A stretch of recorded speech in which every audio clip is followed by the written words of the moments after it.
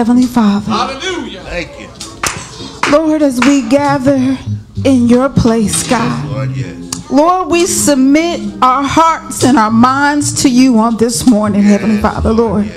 Lord, first we lay down our burdens, our cares, our sins, God.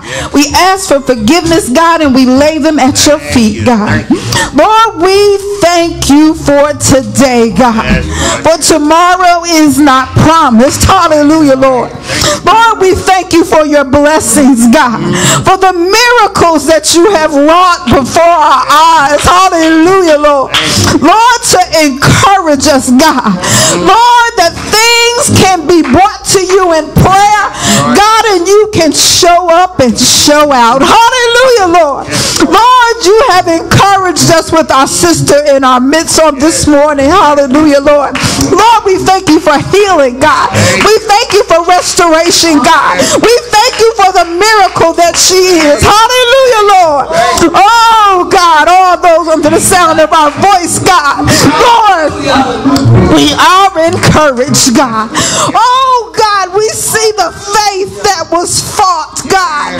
The faith in the prayer that was given, God. And we too, God, can be victorious, God. Oh, God, you say to lay down our cares before you, for you care for us, God. And that we pick up the right spirit and faith and in hope and in trust, God.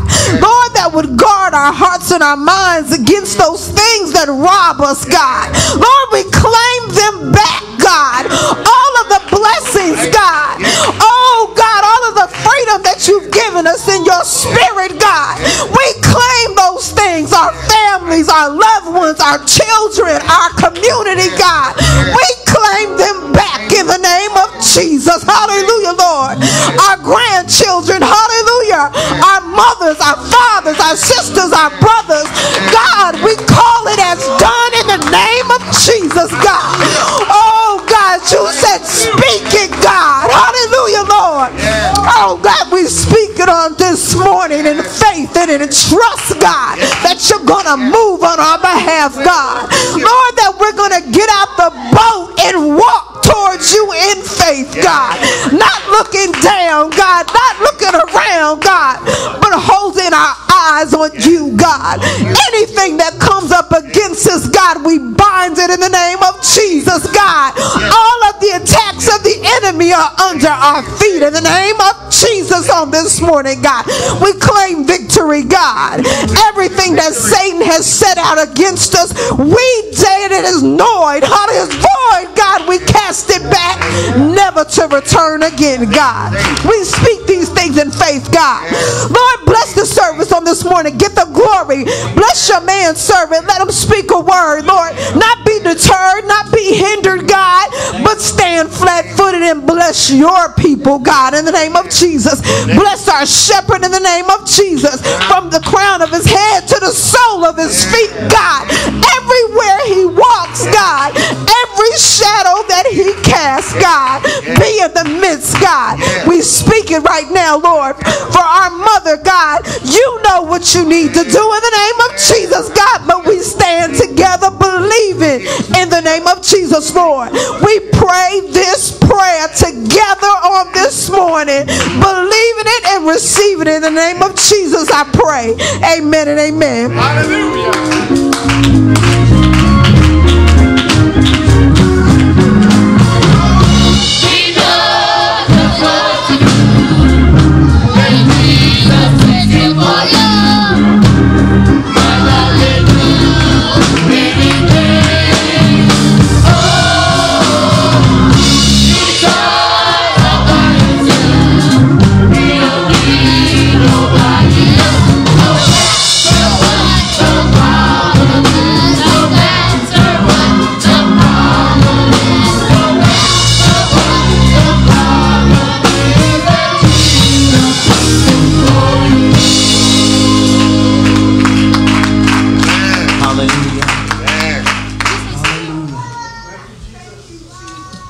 We were going to have a uh, special announcement uh, by uh, Elder Joe Dunn, and then uh, we'll hear from uh, our final selection from the Voices of Praise, and then the next speaking voice you will hear will be that of our friend and brother, Pastor Tim Run, Keith Senior, Tree of Life Ministry.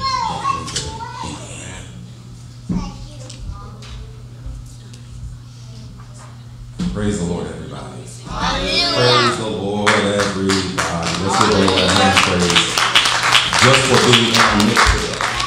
I am super excited because on March 29th and March 30th, everyone say Good Friday. Good Friday. Everyone, one more time, say Good Friday. Good Friday. Good Friday. This year, we are doing a production right here at Refuge in Kentucky Church. For those of you that are watching us virtually, you can see it right there on the screen. But we are doing the Passion of the Christ. Amen? Amen. It is featuring many of our members of our sanctuary right here, members of Tree of Life, uh, members of Feasts of God, and we're so excited that we're being able to put on this production. Now, it is free of charge. Everyone say free. How much do you have to pay to get in? Absolutely nothing, because we do not think uh, that this message should be restricted to those who can pay for it. To have money to go to Actors Theater is great. To have money to go to the Louisville Orchestra is great. But we're here, right here at Refuge in Kentucky Church, we're in the business of trying to reach souls, reaching the lost at any cost, right here in the heart of the city, where the people of the city are in our hearts. So, right here on Good Friday and the following Saturday, March 29th and March 30th, we are putting on the Passion of the Christ. Now, I'm going to ask um, our ushers, if you can, get those flyers that I put in the back. And I want each person to take as many as three. Everyone say three. Three. One for you and one for at least one or two other people. I want you to share this with people. I want people to come. We'll have enough to fill approximately 200 seats. So we want to fill up this auditorium. Amen? Amen. We don't want to have empty seats. It's going to be a powerful word. We're going to have a wonderful time terrific singing, terrific ministry. You're going to hear the word in a lived out action form. We don't want people to miss this simply because they do not know.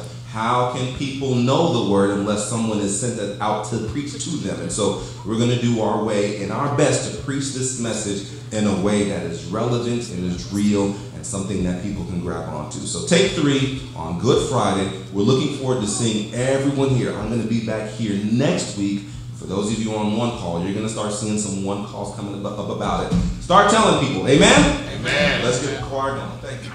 Amen. Amen.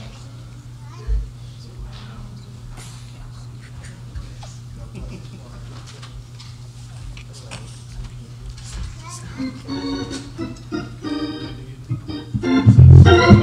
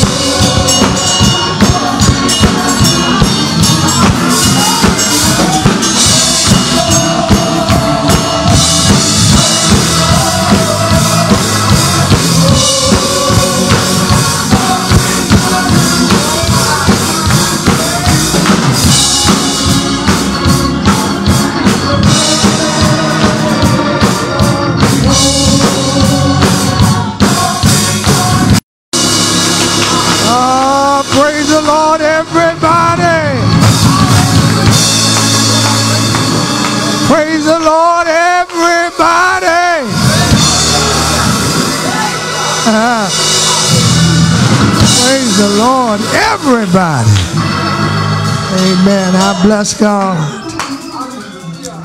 Man, I am so excited to be among those who are sanctified ah, by God the Father, preserved in Jesus Christ, and called. Glory to God. And I'm tired of allowing other folk to define me. Praise God, I'm not what I want to be. But I'm not what I used to be. And I'm pressing on the upward way. New heights I'm gaining every day. Uh, still praying as I onward bound. Glory to God. Lord, plant my feet on higher ground. Amen. I bless God to join you who are sanctified. Amen. I'm excited. This uh, weekend has been a, a weekend of, amen, excitement and anticipation for me. Praise God. I've taken my first trip in a while. Praise God. I went to my Wisconsin, Illinois, Missouri diocese meeting. Amen. Met with my pastors and praise God, others that um, we are looking to reshape uh, our outreach. Praise God. And I know the devil thought because of COVID that, amen, we would lose uh, ministry. But I'm excited, praise God, to press forward. Amen. And to make some changes right here at home. Praise God. Uh, God has been good. Praise God. And uh, things are changing around. We're going to uh, do our Bible study in house. Amen. Again, every Tuesday. And those of you who are in the area are certainly welcome to come. Praise God. Or you can wait for the rerun on Wednesday. Amen. Praise God. But I like it hot. I like, amen, to be first partaker. Amen. And I bless God for what he's doing. Amen. I am excited. I've got a great bishop in Bishop Barclay Bailey Sr. Praise God. He's got a group of district elders that each have been assigned, amen, a territory. And I'm planning to, amen, load up a bus and go back to Missouri. Amen. Uh, and before we go to Missouri, we're going to go to Tennessee. That's my next uh, venture. Praise God. And I'm looking for God to meet us and to bless us. Praise God. Um, uh, this morning, praise God, I am honored. Uh, uh, uh, over the weekend, uh, my other son went with me. Amen. We had a, a tremendous time, uh, great meetings. Souls were baptized. Praise God. Uh, we're looking for souls to be filled, and we're believing God that, amen, uh, prayer here is going to bring miracles there. Amen. Yeah. Amen. Come on.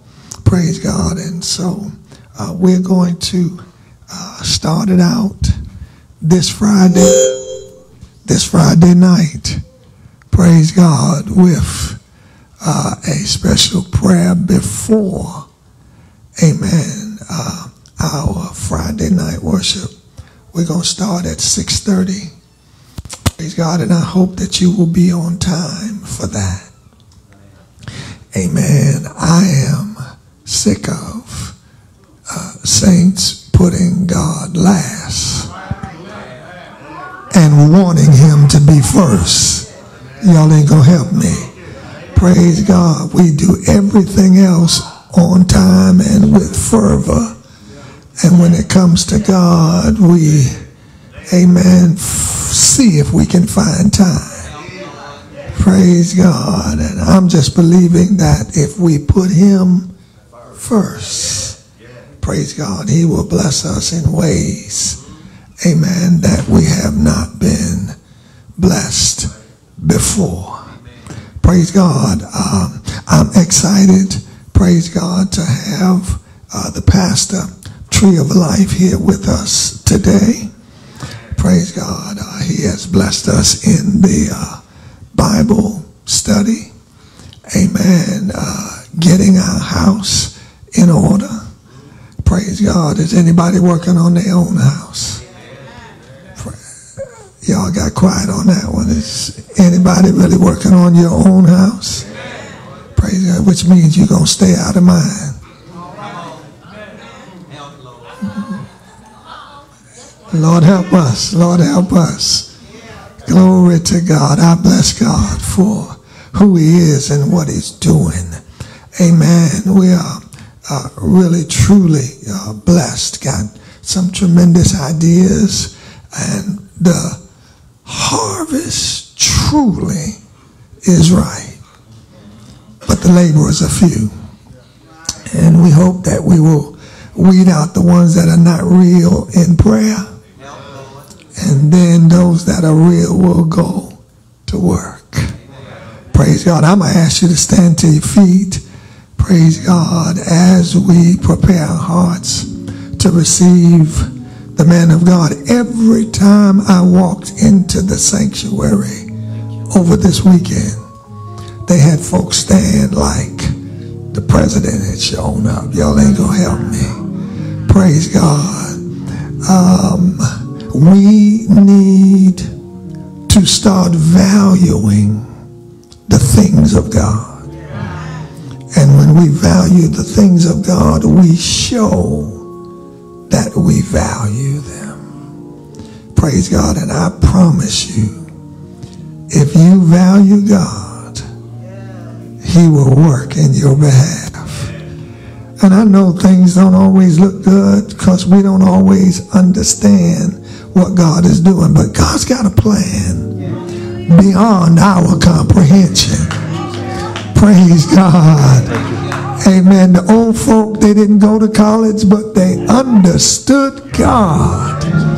Praise God. And they said, and I quote, while you trying to figure it out, God has already. Uh, my mic ain't working. Uh, praise God. If my daughter was here, she said that right there. Glory to God. Come on, tell your neighbor. Say, neighbor, that right there. That right there. While you trying to figure it out. I know it don't look like it's working. Hallelujah. It don't look like things are flowing like they should. But while you are trying to figure it out, God have already worked it out. So don't wait till the battle is over. Praise God. Don't look to see whether it's going to happen. Shout now. Praise God now. Rejoice now. Hey, hey, hey. Hey. Glory to God. Lord, we bless you. We thank you. We magnify you. We give you glory. We give you honor. We give you praise. Search our hearts. Search our minds. Oh God, we want to bless you. We want to serve you. If there's anything that's not like you, take it out. Take it out. Take it out. We want to be right. We want to be saved. We want to be who you want us to be. Oh God, bless us. Help us to understand that your blessings, your favor looks good on us Ah, glory to God. And if they haven't seen it yet, glory to God, we understand uh, that you're moving, that you're working. And so we praise you now. Amen. Bless your servant as he gives us the word. Help us to get our houses where you want them to be. Glory to God.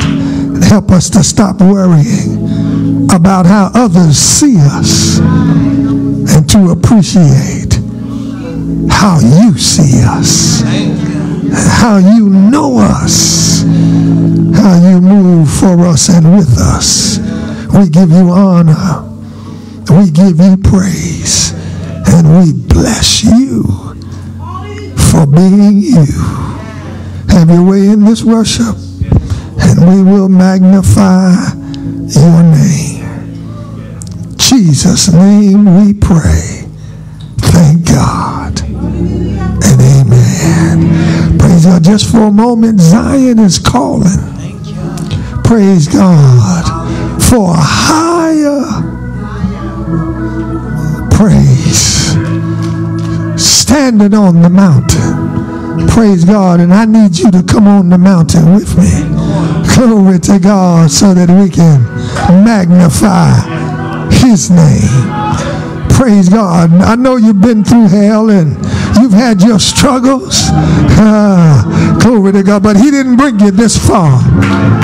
Praise God. Not to bless you, not to lift you, not to anoint you get the glory.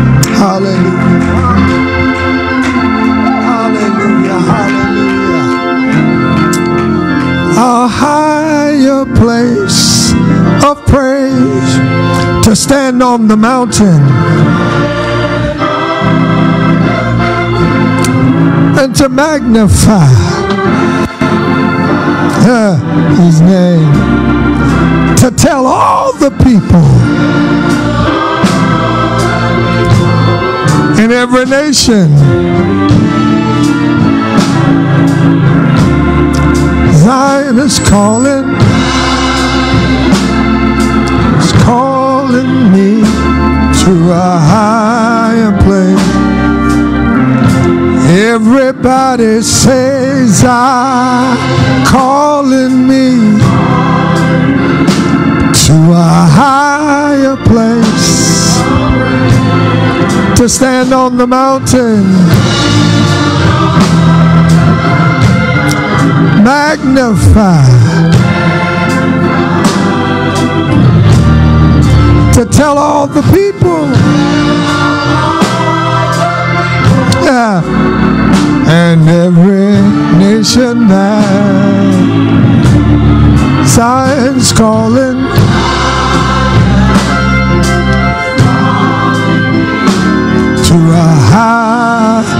Come on, just one more time. Zion say, calling me to a higher place. Stand on the mountain. Yeah, yeah. Magnify to tell all the people in every nation. Help me say Zion calling me. Help me say Zion calling me.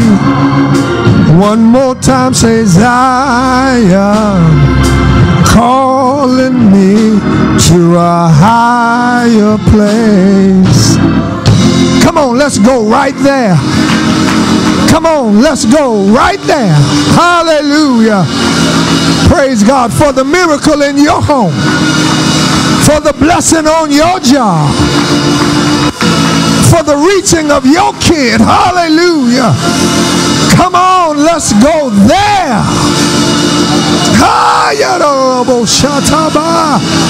Zion is calling for a higher of praise. Glory. Hallelujah. Hallelujah. Hallelujah. Hallelujah. Hallelujah. Hallelujah. Hallelujah. Hallelujah. Hallelujah. God, we praise you. God, we bless you.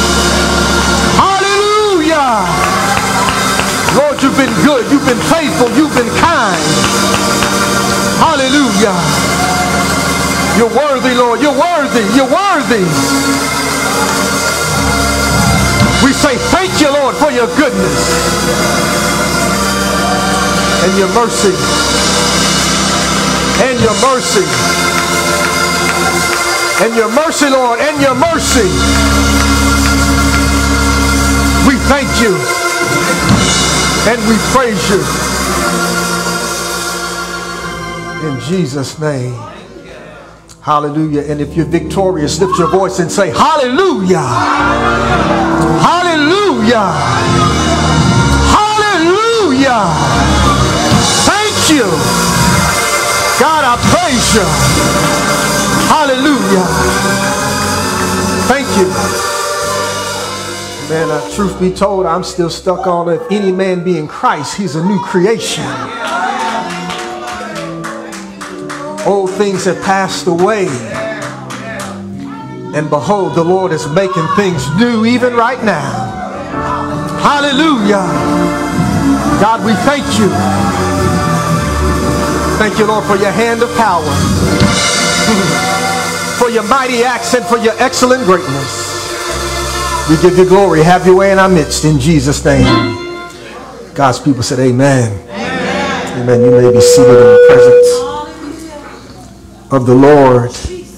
Amen. We serve an awesome God. God is an awesome God. And he's greatly to be praised.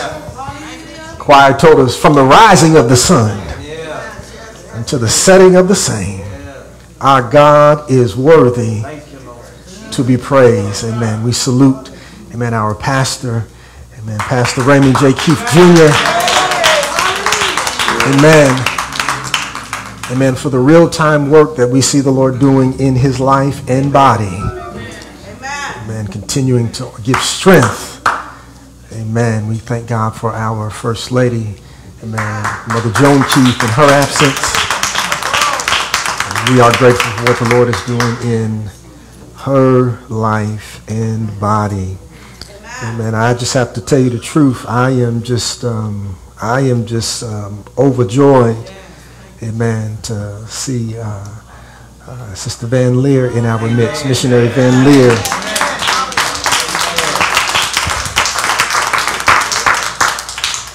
Amen. And there are many people who don't come back from what she experienced. Jesus. Hallelujah. God, I praise you. Hallelujah. But we serve a faithful God. He's an on time God. And He shows up always at the right time. Hallelujah. I mean, I don't want to get used to God's, his, his, uh, his, his handiwork. I want to be in awe of God's work all the time. Amen. And so I give God glory. Amen. For what he has done in our midst. Amen. For those of you that have your Bibles, would you get them and turn with me to um, the Gospel of John, uh, the third chapter. And we're going to begin our reading in uh, at the 14th verse. Uh, third chapter of the Gospel of John. We'll begin our reading at verse number 14. Amen. It is so good to see uh, so many of you on this morning.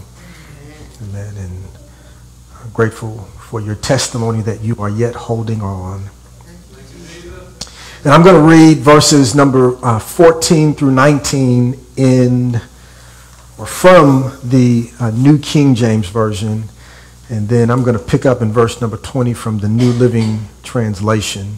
Uh, you don't have to you don't have to try to switch and follow up. I just want to give you a heads up of where it is that I'm going to go uh, in the reading of Scripture on this morning. Is that all right? Amen. third chapter of John's Gospel, beginning the reading at verse number 14. It says, And as Moses lifted up the serpent in the wilderness, even so must the Son of Man be lifted up, that whoever believes in him shall not perish but have everlasting life. For God so loved the world that he gave his only begotten Son, that whoever believes in him should not perish, but have everlasting life. For God did not send his Son into the world to condemn the world, but that the world through him might be saved. He who believes in him is not condemned but he who believes not is condemned already, because he has not believed in the name of the only begotten Son of God. And this is the condemnation that the light has come into the world, and men loved darkness rather than light, because their deeds were evil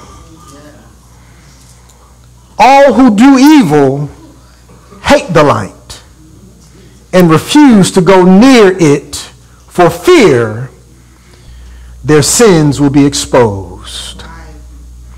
But those who do what is right, they come to the light so others can see that they are doing what God wants.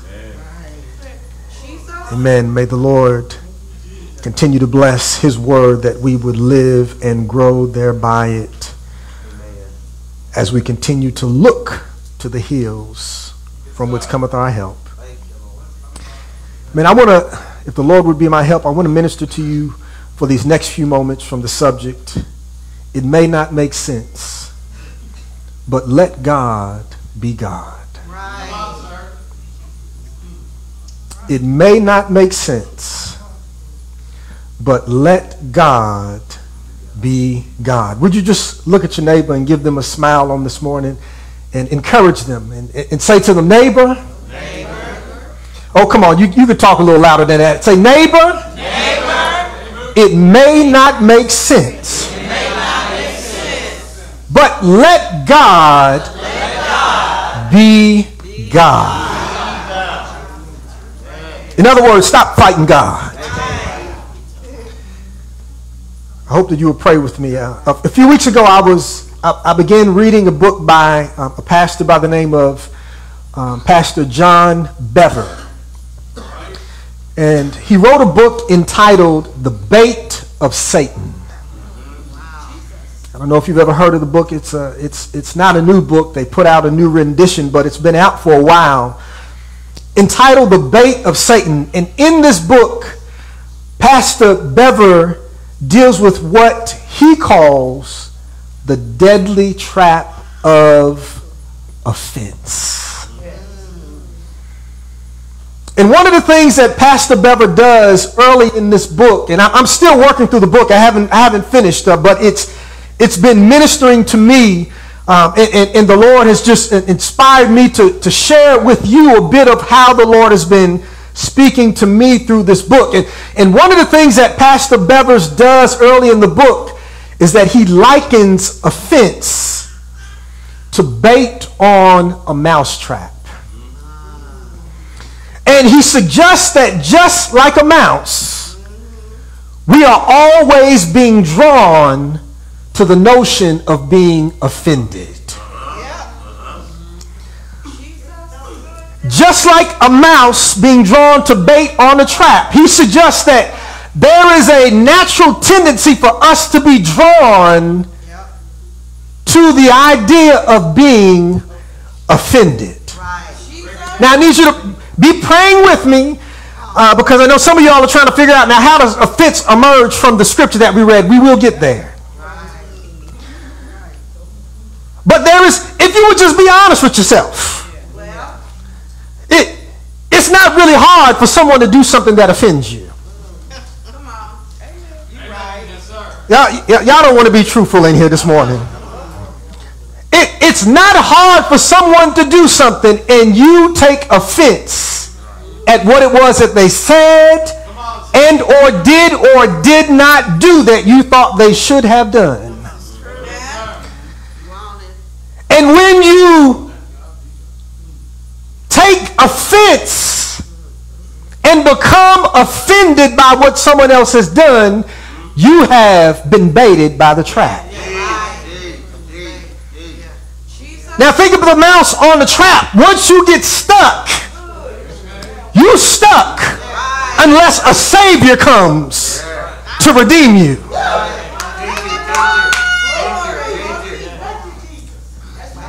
And if the truth be told, there are many of us that are sitting in this place today and are under the sound of my voice that are sitting in offense even right now. Some of us were offended by something that was said earlier in the worship. Some of us were offended because um, the choir didn't sing the song that we wanted them to sing, or, or they didn't sing the song the way we wanted them to sing it. Some of us are offended by how we were greeted or not greeted this morning when we came to the house of the Lord. Some of us are, have been offended by our spouses. Somebody say, help, Lord. Y'all, y'all don't want to be, they, they don't want to be honest this morning, Pastor. Some of us have been offended by our mother and or our father. Something that they didn't do that we felt like they should have done. And had they done it, it would have saved us some heartache along the way. And what's interesting about the bait of offense is that once you are on the trap, unless someone comes and gets you off of it. You sit in your offense.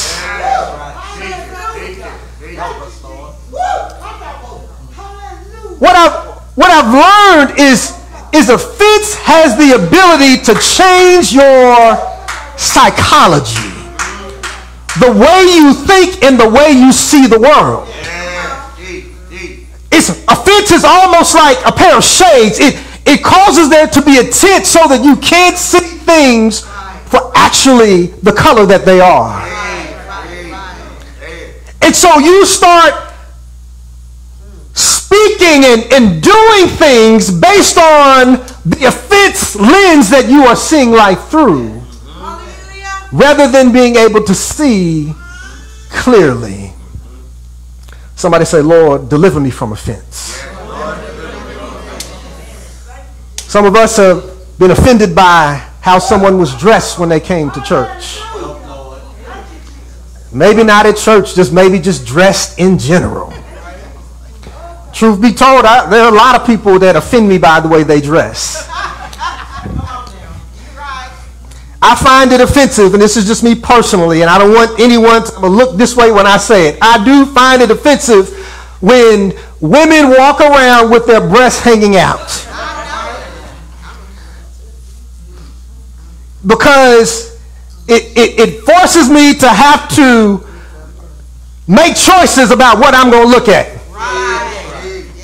Which you know, I mean, there are choices in life, right? That's what that's that's not the that's that's really not the the issue, right?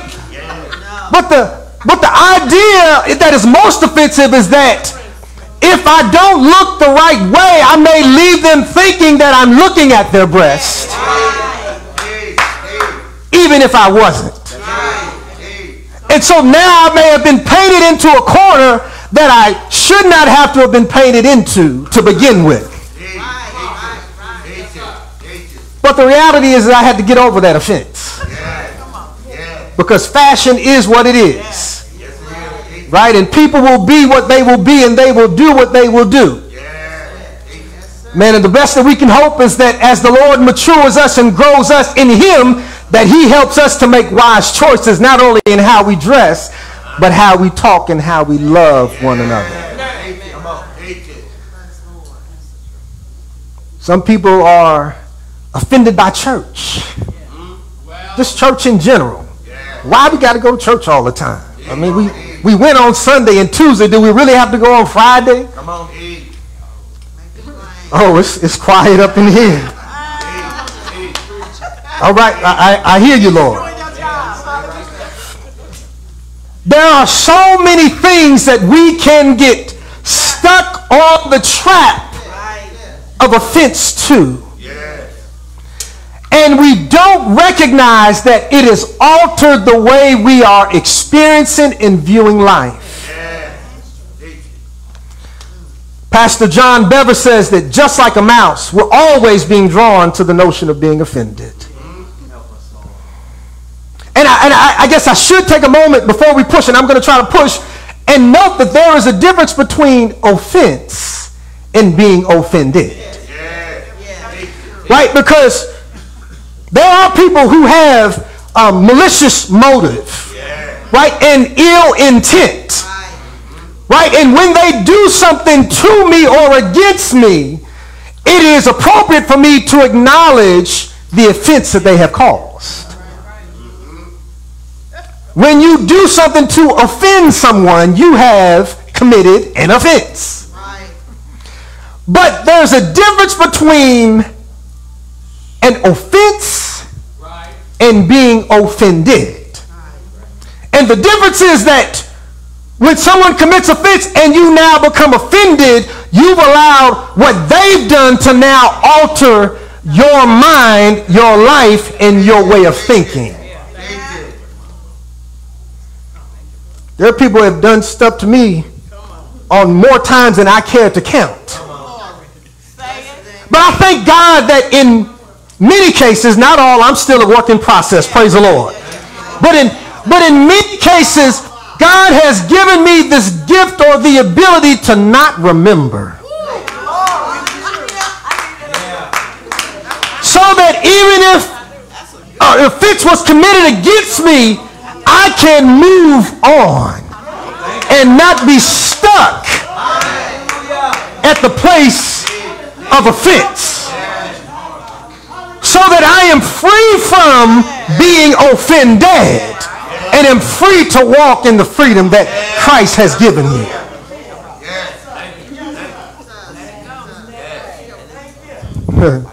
There's a lot that I could say about that, but I won't.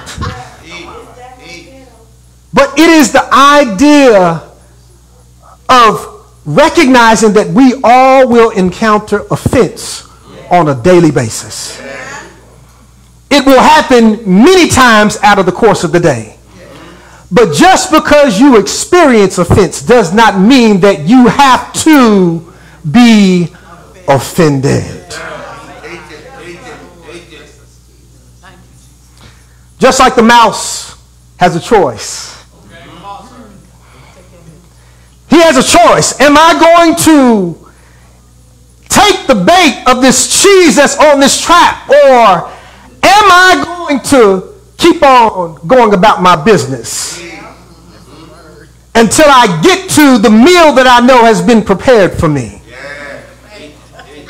And if we were to be honest on this morning, many of us along the way have taken the bait. And then we wonder, how did I get stuck here?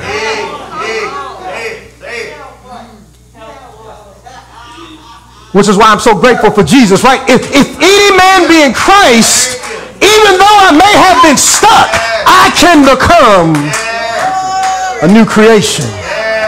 Such that things that used to offend me, they don't have to offend me anymore. Now, I need to I need to come back to the text because we got to get out of here. We we we read from the third chapter of John, beginning at verse number 14. And we didn't start from the beginning, but this is a conversation that Jesus is having with a brother by the name of Nicodemus. Nicodemus was a, um, a Pharisee and a, uh, an important figure within the Jewish leadership structure. And most of us are familiar with the, the encounter that Jesus has with Nicodemus because it starts just a few verses earlier in the first verse of the third chapter of John. And I'm going to read it because its context is important. But I need you to understand that even before Jesus enters into this conversation with Nicodemus, Jesus knew what he was dealing with. It starts in John, the second chapter, beginning at verse number 23. In John chapter number 2, Jesus had just stepped out into public ministry.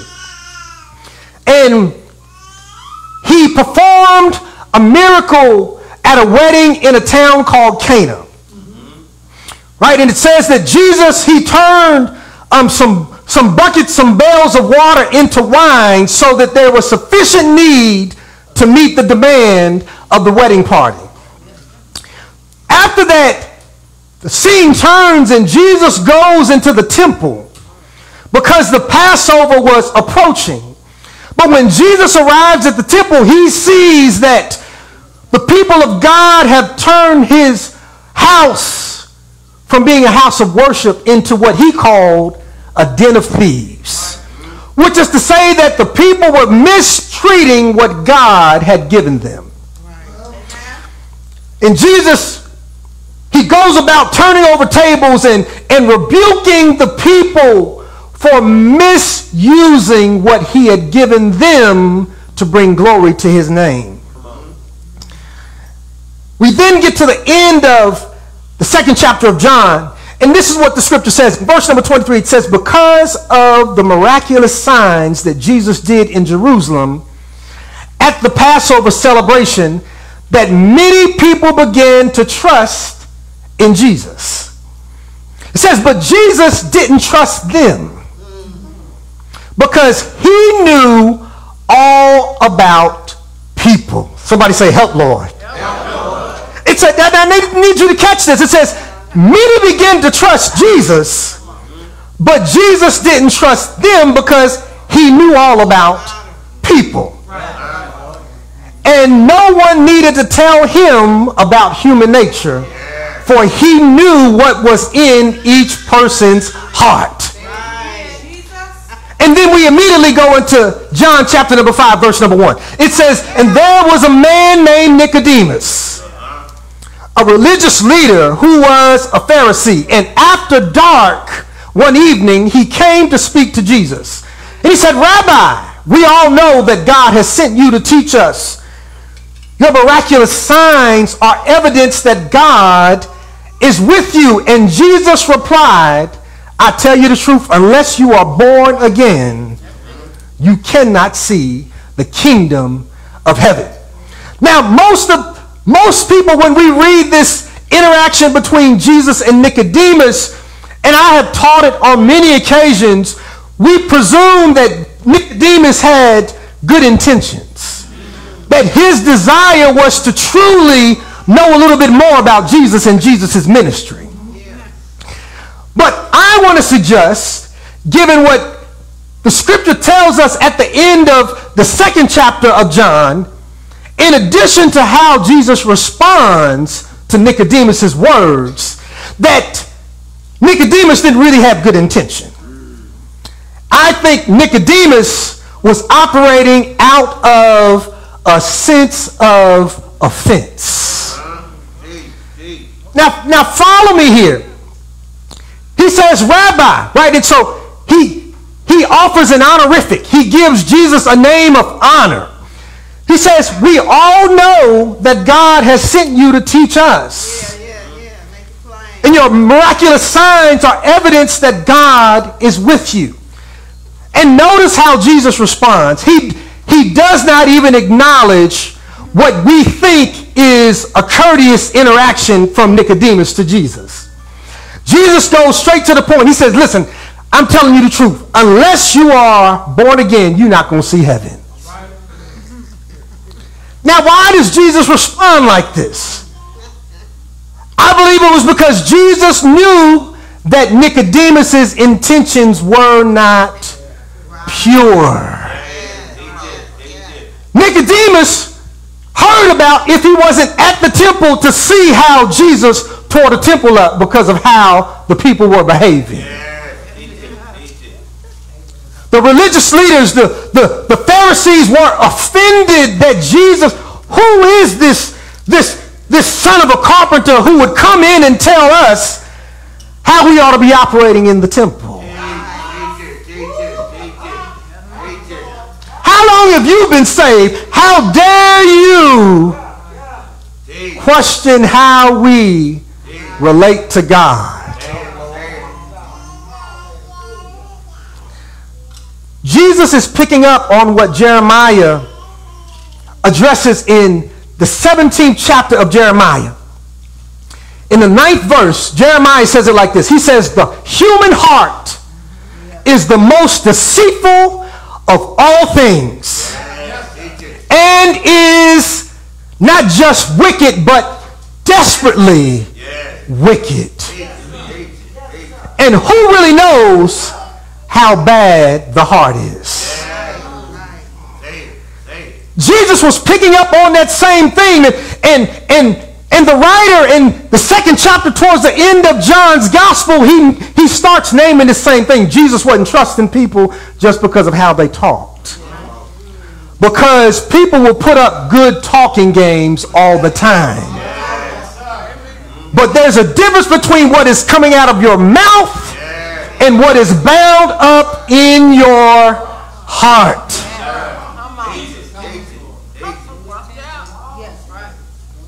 And I think there is something for us to, to, to interrogate there even in our own lives. We started out talking about this idea of offense and the bait of offense. What's interesting about offense is you may be offended, but you may not give um, the notion of your offense to the person that has offended you. You may just be carrying it around in your heart and you are believing that they should know how they offended you and therefore should have taken corrective action already to address the offense. But the reality is, is that no one is a mind reader. And because most of us want people to assume that we know what's in their mind, we don't say what we really mean. So, let me keep going with this text because we need to get down to verse number 14. Jesus says in verse 3, John chapter number 3, he says, I tell you the truth, unless you are born again, you cannot see the kingdom of God. Amen. Nicodemus says, Well, what do you mean? How can an old man go back into his mother's womb and be born again? And Jesus replied, I assure you, no one can enter the kingdom of God without being born of water and of spirit. You need to be baptized in Jesus' name and you need to receive the infilling gift of the Holy Ghost. Jesus says humans can't reproduce. I'm sorry, humans can reproduce human life, but it is the Holy Spirit that gives spiritual life. And because of this, you ought not be surprised when I say to you that you must be born again. Right. See, Nicodemus, you've been living, but you've been living your natural life, and you, you've not even begun the beginning of your spiritual life. Yet you are leading people as if you are spiritual. Somebody say, Help, Lord. Help. And there is that tendency for people to want to lead other people spiritually yeah. without having first been born again. And I'm grateful for the old church who used to tell us, you need the Holy Ghost. You need to repent of your sins. You need to be baptized. You need the Holy Ghost. Because it left no no wondering of whether or not I would be in right standing with God until I got the Holy Ghost. What I want to say to you, two points, and we're going to move. The first point is that people will, they'll always try to hide being offended by your words, but their actions will always tell the true story. Stop by stop going by what people say. Yeah, yeah, yeah, yeah. That right there. Because people will tell you they love you, they care for you, they care about you, but treat you like trash in just a few moments. And the natural tendency will be for you to be offended because they treated you like trash. But you better stay away from the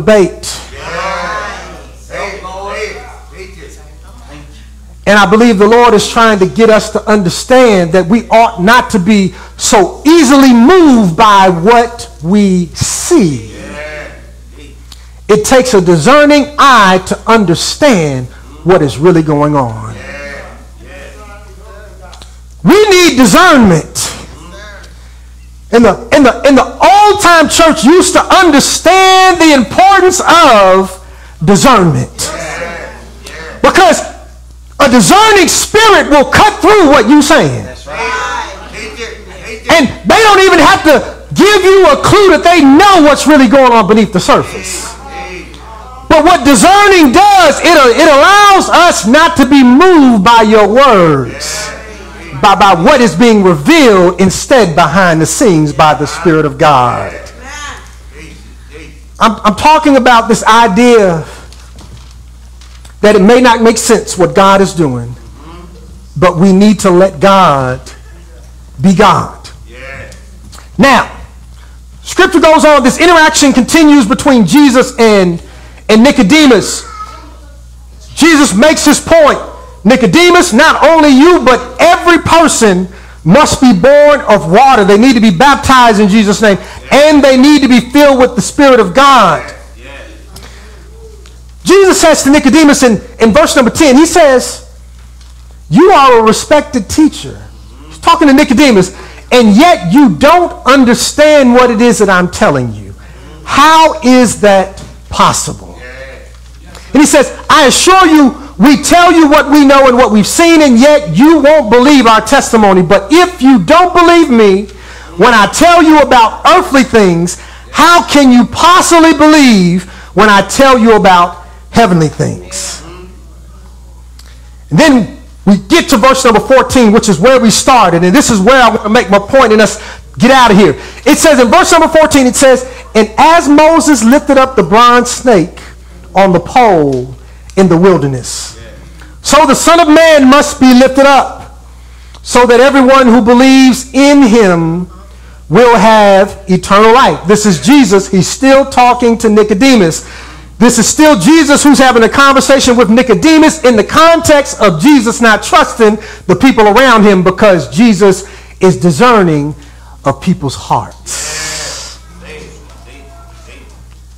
And Jesus makes this reference to an Old Testament encounter where Moses lifted up a bronze surf, a, a bronze snake on a pole in the wilderness. And it was the lifting up of this snake on the pole that actually saved the people of Israel. We need to look at it to understand the context of what Jesus is really talking about. So go in your Bibles with me just for a few moments to the book of Numbers, the 21st chapter, and we're going to start our reading at verse number 4. Numbers, the 21st chapter. We're almost, we're almost done beginning our reading at verse number 4.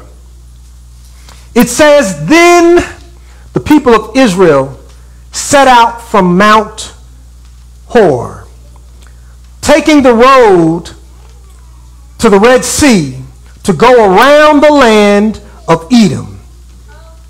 But the people grew impatient with the long journey, and they began to speak against God and Moses. Why have you brought us out of Egypt to die here in the wilderness? They complained. There is nothing to eat here, and there is nothing to drink, and we hate this horrible manna. Remember, we're still talking about offense, right? The Lord has freed the people of Israel from Egyptian captivity, and he's taken them across the Red Sea on dry ground, a miraculous event, no doubt. And God, even in the wilderness, provided for the children of Israel water when they got thirsty. Yes, he, did. he provided food for them by way of manna when they got hungry. And even when they got tired of manna, God sent them quail to feed them. God showed up at every moment when they needed him. Somebody say it may not make sense, but let God be God. Yes, on the one hand, he brought them into the wilderness, but he said, I'm not going to bring you here to die. I'm going to sustain you until I get you to the place that I prepared for you. And all you have to do is trust me when you can't understand me. But the people of Israel could not trust God because they were offended. Lord, how dare you bring us into this wilderness and not give us a glimpse of where it is that we are going and not give us some of the amenities that we'll have in the place that you promised for us while we are in the middle of transition. I need to say that one again. They were offended at God because it was more difficult than they felt like it should be. Even though the place of comfort was coming. And for some of us, under the sound of my voice, we have become offended at God and at God's people. And consequently, can't stop complaining about not only what's wrong with God's people and not only about what's wrong with the church, but also with why is it, God, that you have brought me to this place? And surely there are other people who have done worse things and deserve worse off than me. Somebody say, Help, Lord. The children of Israel were a complaining people. Here is my question for you Are you a complainer or are you a praiser? I'm going to ask it again. Are you a complainer or are you a praiser? Hallelujah. I love it that, that the Lord has, has ordained me to be a praiser. And I don't care what's going on around me. I can find a way to lift up a hallelujah. Hey, even when there's no money in the bank account, I can give the Lord a I praise you. Lord, my body may be weak right now, but you still get the glory. Are you a complainer or are you a praiser? Because when you're a praiser, you just praise at, at any time. But when you're a praiser, you praise for surely when it's time to praise. Some people say, well, if the choir would sing a little different, then we, we could praise a little more. But then you're not a praiser. You're a part-time praiser. And the Lord is not looking for any part-time praisers. As a matter of fact, the Lord says, I'm looking for those that are going to worship me in spirit and in truth. True praise emerges out of the goodness of God, not out of your circumstance. And I would to God that the people of God would, would put down this idea of being complainers and lift up the banner of praise. Confuse the enemy. He's wondering why are you praising when things are going wrong in your life? Because I picked up the banner of praise. Good God Almighty. Children of Israel were a group of complainers.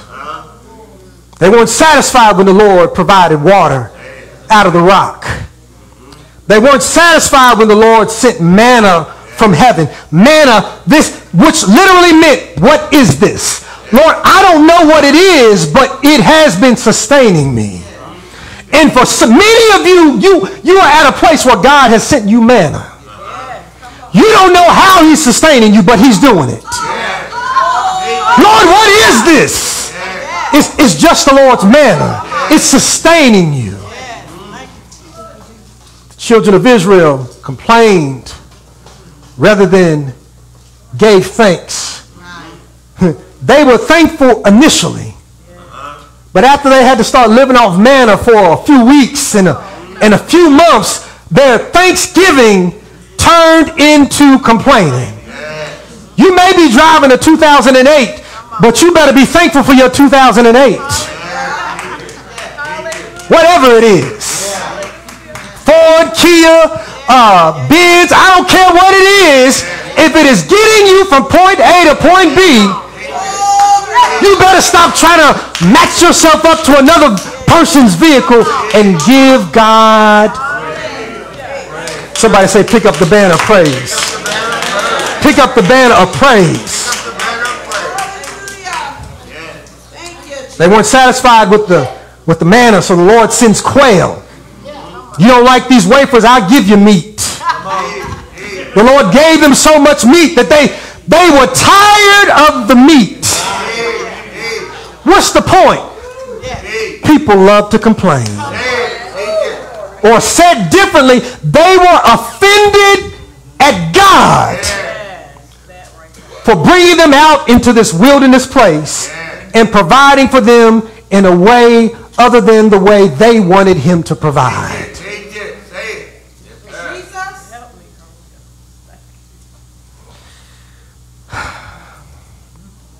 Somebody say, Help, Lord. Help, Lord.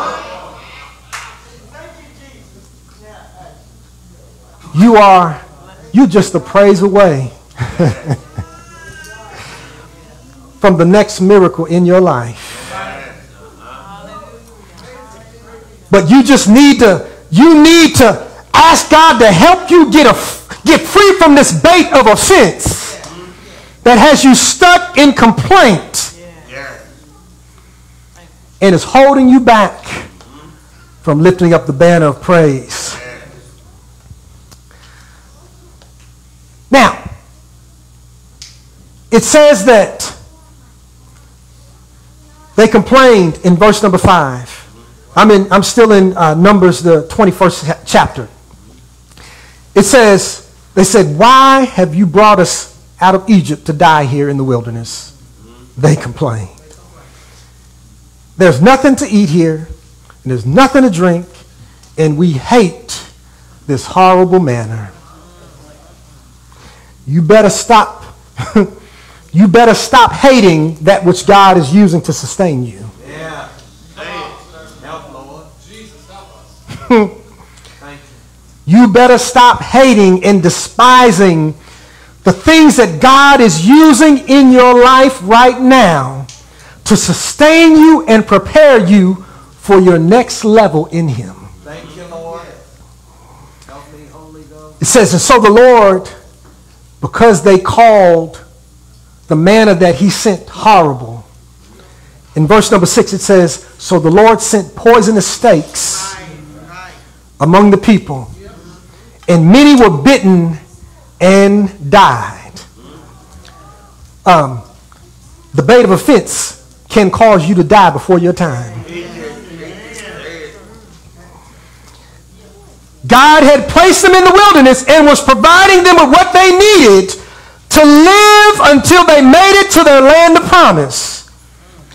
But because they were offended at how God was working in their life, God sent snakes that were poisonous, and many of the people of Israel died in the place that was designed to sustain them.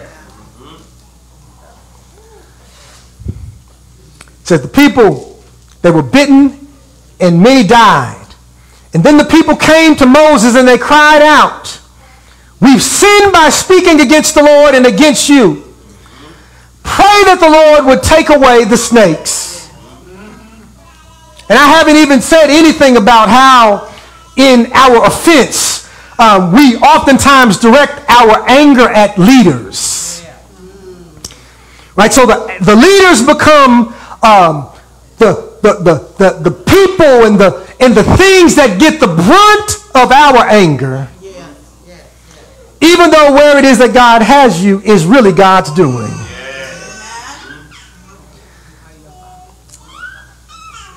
But once the Lord sent these poisonous snakes, the people changed their minds about the leaders. And they began to ask Moses, listen, would you just talk to the Lord on my behalf? I know I've been talking crazy to you for the last year and a half, but would you ignore that and pray that the Lord would send relief? And it says that Moses prayed for the people. It says in verse number 8, and then the Lord told Moses, he said, make a replica of a poisonous snake and attach it to a pole. And all who are bitten will live if they simply look at this snake that's on the pole. And so Moses made a snake out of, a, a uh, out of bronze and he attached it to the pole. And then anyone who was bitten by a snake could look at this bronze snake and was healed. This is what Jesus is speaking of when he's talking to Nicodemus. There are some passages of scripture that are straightforward to me, but there are other passages of scripture that are not. And this, both this Numbers 21 text and um, the John text where Jesus is talking to Nicodemus and he refers to Moses lifting up the serpent on the pole and people being healed as a result it has oftentimes confounded me. Because essentially it sounds almost like the Lord told Moses to create an idol and to put an idol on a pole and then call God's people who God has told to never look at or worship a graven image to now look at this idol on the pole. God, what are you doing? Somebody say it may not make sense. But you better let God be God. We know in the, we know in the Ten Commandments.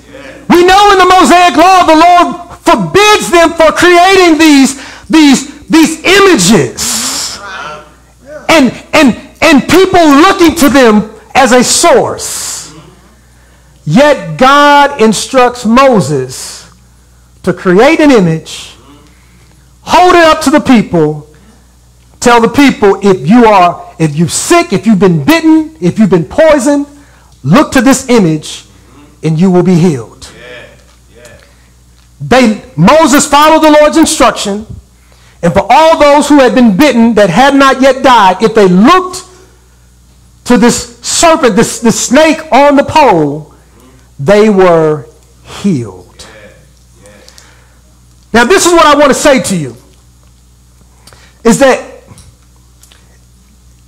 I believe what the scripture is telling us is that when God sends us manna from heaven, when God sends us provision from heaven, when we reject it and start complaining about it and becoming offended at what God is giving us, that God will instead use something that is offensive to humble us and bring us back to a place of humility that we might get healed. Because God is not going to heal you in your arrogance.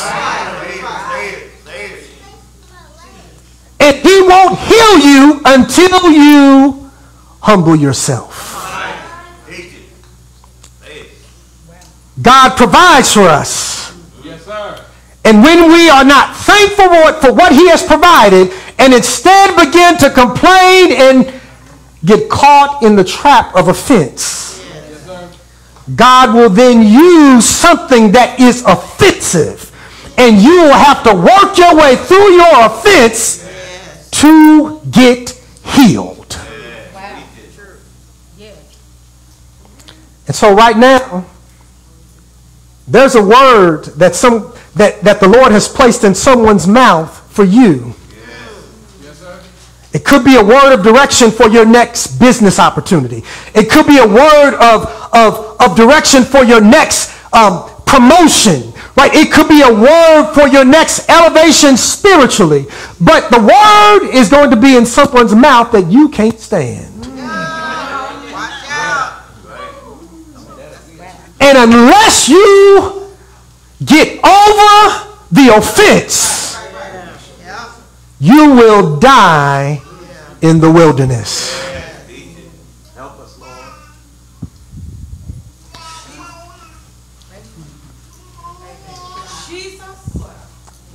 It may not make sense. Why do we have to repent of our sins? Why do we have to be baptized in the water in Jesus' name? Why do we have to uh, look for this promised gift of the Holy Ghost? God, can't you do it another way? He could. But this is the way that he's chosen. And there's many who have not yet come to the Lord because they are offended about the idea of having to repent of their sins. Yes, that's true. Well, we're all sinners. We done all messed up. Why I got to repent? Come on. Yes, sir. Come on. Yeah. Come on, sir. You are. Jesus. Lord, many people have talked crazy. Why, why do I have to be the one to, to, to, to change the way I talk to others?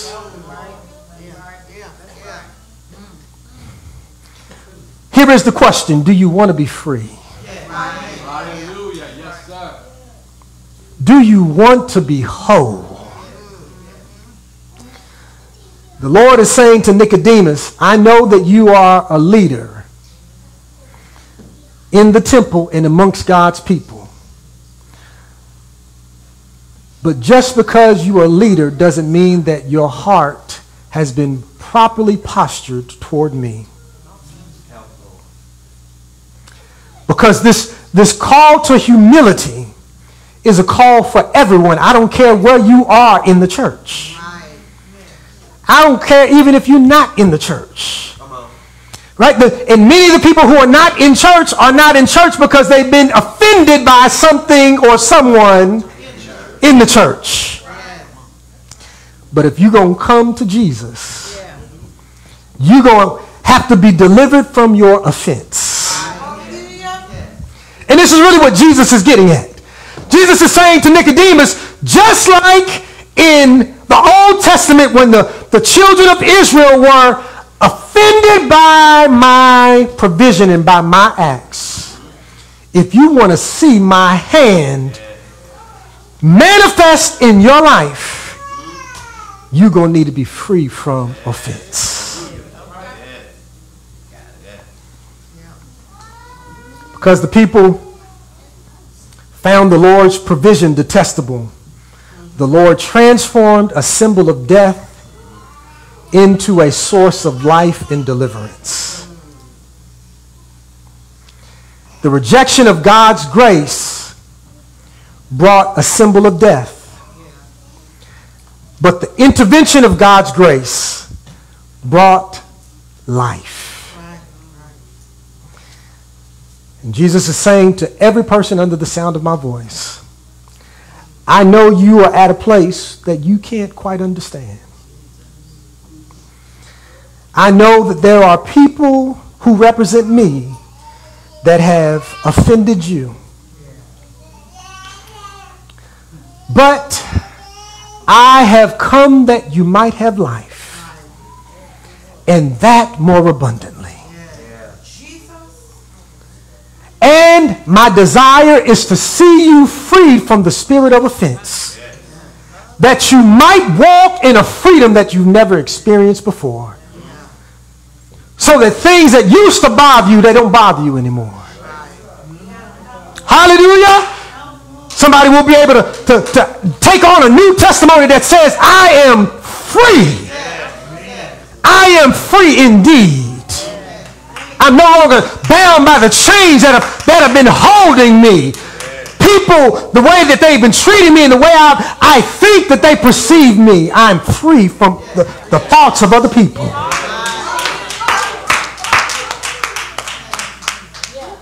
So that I am most concerned about how God thinks about me.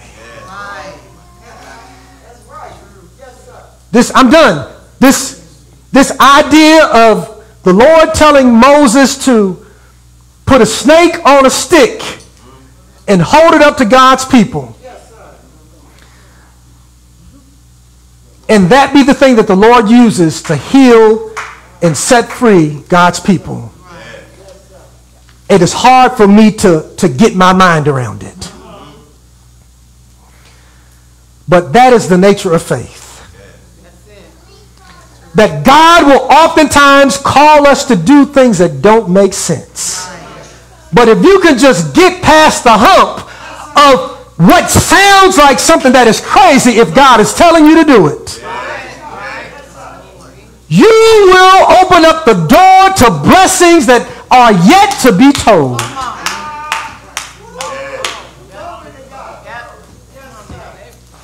Talking about spiritual renewal and and and the, the, the movement of the Holy Ghost in the in the lives and in the in the hearts of God's people, families being saved, communities being transformed. All the all, all the result of being free from offense. So that we're able to be humble. Would you stand on your feet? God is moving in an unusual way. God is, He is, He's reshaping us and He's resetting us. And for, for many of us, we don't really understand God. You've not done it like this before. And to be honest, Lord, I don't like it is what you're doing and how you're doing it. But I believe the, word, the Lord brought me here on this morning to say to you reject the spirit of offense because of the path that God has brought you on. Because if you reject that spirit of offense, you will find newfound freedom. Some of, some of, some of you, your, your praise has been locked up. And, it, and it, it, needs to get out, but, but it needs to go through the, through the, the, the, the, the, the tunnel of humility. And repentance, saying, God, I'm sorry for all the ways I've doubted you. Lord, all the ways that I've questioned you because I couldn't see you at work. If you would make your way through that tunnel, you would see freedom in Jesus in a way that you've never experienced it before. I don't know why God is doing what he's doing, but I know he's doing it. I know he's opening doors, even right now. Because I am trusting him when I don't understand it. Lord, I'm going to do your will even though it doesn't make sense to me. Lord, I'm going to love your people even though they act unlovable. Lord, I'm going to do your will even when I don't understand it. Hallelujah. Oh, glory. Hallelujah. The Lord is doing it. And he's looking for someone to say, Look, that was me. I was bound by offense. I was stuck on the trap of offense. But today is the day that I will be free. Today is the day that I will I will humble myself before you, God. Because I'm tired of being in the same place. And I want what you have in store for me. Hallelujah. Oh God, we praise you. If that's you, you need to make your way to the altar right now. There's freedom. There is, there is deliverance. There is, there is breakthrough. There is